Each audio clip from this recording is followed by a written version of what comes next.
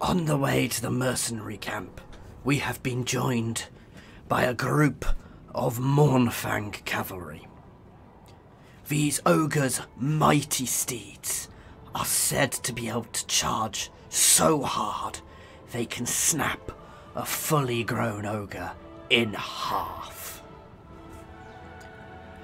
It is considered a rite of ogrehood to go into the mountains of Mourn and capture one of these cave dwelling beasts. Please like and subscribe to Warhammer Geographic.